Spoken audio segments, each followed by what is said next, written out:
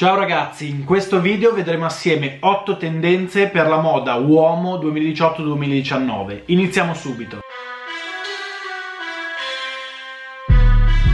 La prima tendenza che andiamo a definire è sicuramente il color marrone come colore di tendenza del 2019 è un colore semplice, facile da abbinare, ma è un colore che soprattutto d'inverno sbatte un po'. Io ho appena acquistato un cappotto sul beige color cammello e sicuramente con la tonalità della pelle un po' più chiara, classica dell'inverno, è un po' rischiosa da indossare. Però diciamo che possiamo giocare con tutte le nuance del marrone, del beige, del color rosso aranciato, del vinaccia, quindi giochiamo con con le diverse gradazioni e le diverse nuance di questo marrone e troviamo quella che fa più al caso nostro a seconda anche del nostro tono della pelle. L'abbiamo visto anche come colore di tendenza nella moda donna e quindi possiamo dire che sicuramente il marrone sarà il colore di quest'anno ed è una scelta di colore che accomuna molti brand anche del lusso come Louis Vuitton e Gucci.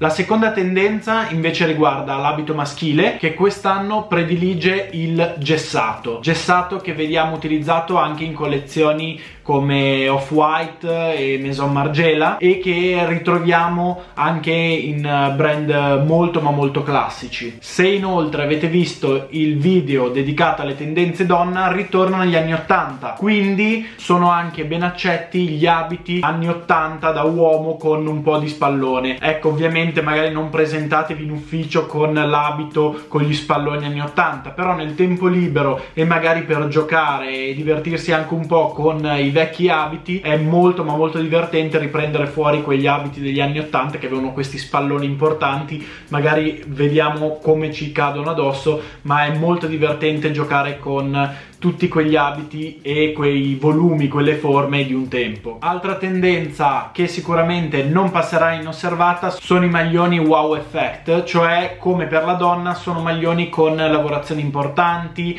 texture, grandi pattern, lavori di patchwork, disegni molto importanti, giochi cromatici, insomma il maglione diventa sicuramente un pezzo importante per dare uno sprint a tutto l'outfit invernale per l'uomo e ne vediamo alcuni esempi nelle collezioni di Calvin Klein o ad esempio Acne. Cresce inoltre in questi anni e nel 2019 credo sia destinato a fare ancora più chiasso, ancora più baccano come tendenza e sto parlando della logomania. Un esempio eclatante è sicuramente Fendi Mania che sta riproponendo sempre più in modo costante e chiassoso, se così possiamo dire, il proprio logo, utilizzato sicuramente come pattern, quindi quasi non ci si accorge perché fa tutto parte della texture della maglia piuttosto che del pantalone o comunque risulta una stampa non fastidiosa, ma la vediamo in tantissimi marchi, questa cosa della logomania che veniva utilizzata e in alcuni casi abusata usata anni fa sta tornando. Vedremo quali saranno le evoluzioni. Penso anche a brand che si stanno rilanciando in questi anni come K, eh, LS e tanti altri brand che vengono un po' dallo sportswear. Stanno riproponendo in modo molto forte il proprio logo e la propria iconografia.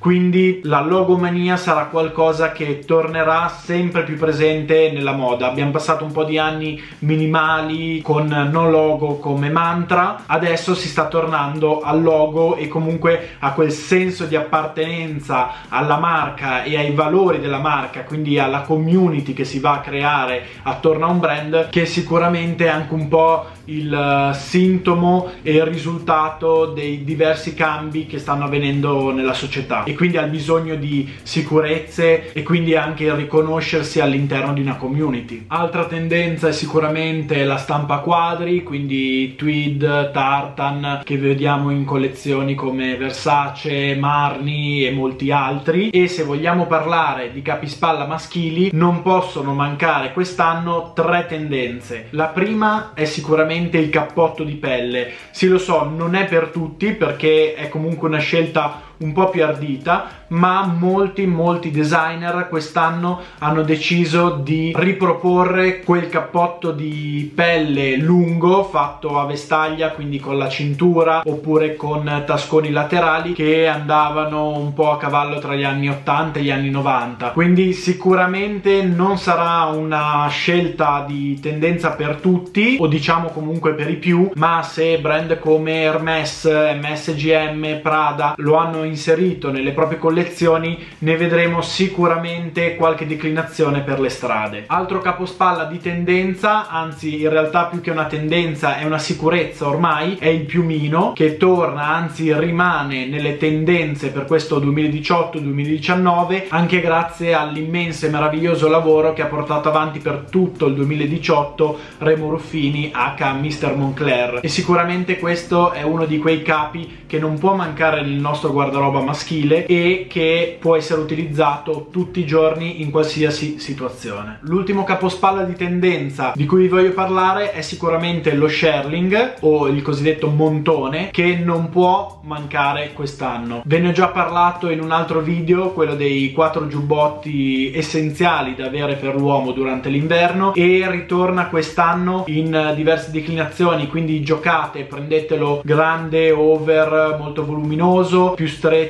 e più vicino a quelle che possono essere le vostre misure, andatelo a cercare negli armadi dei vostri familiari, nei mercatini vintage, nei vari e-commerce, ad ogni modo fate sì di accapararvene uno il prima possibile e guardate bene, selezionatelo bene in modo tale che vi possa durare anni e anni e magari far sì che possiate passarlo anche ai vostri figli. Quindi scegliete qualcosa di classico, non troppo modaiolo, che vi possa accompagnare di qui a 10-20 anni. Questa era l'ottava e ultima tendenza per questo 2018-2019 da uomo. Spero che vi siano piaciute, scrivetemi qui nei commenti qual è la tendenza che preferite e che sicuramente cavalcherete quest'anno quest'anno e noi ci vediamo al prossimo video. Ciao!